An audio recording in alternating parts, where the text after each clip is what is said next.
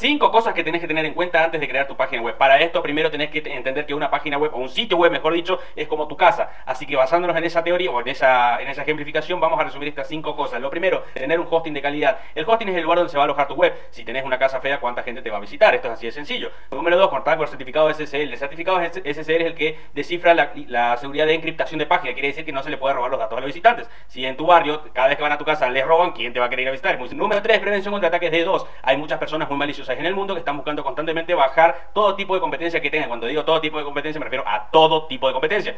No, siempre son personas las que están detrás de esto, sino que programan bots para encargarse de bajar las páginas web y va a impedir que las personas puedan encontrarla en los diferentes motores de búsqueda. Número 4, un acelerador de cargas para la página web es muy importante porque obviamente la gente puede llegar mucho más fácil a tu casa, van a llegar mucho más visitantes, así de sencillo. Y número 5, elegir un buen dominio, un dominio pensado ya sea para tu marca o para el posicionamiento. Entre más fácil sea de recordar la dirección, más veces van a visitar tu página web. Estas fueron las